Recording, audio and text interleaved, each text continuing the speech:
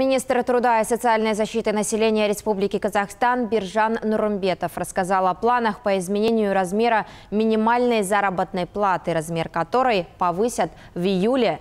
В настоящее время минимальная заработная плата составляет всего 20% от средней зарплаты в стране.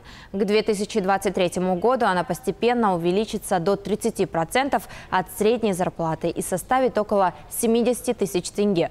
После встречи в регионах депутаты Мажилиса а также подняли вопрос перед правительством о льготах многодетным семьям. В настоящее время закон предусматривает определенную сумму оплаты только для семей с четырьмя-семью детьми. Назначение пособий семьям с одним, двумя, тремя детьми может быть бременем для национального бюджета. Планируются изменения для тех, у кого 8 и более детей. Депутаты Мажилиса заявили, что все вопросы, поднятые в ходе встречи в регионах, будут внимательно отслеживаться.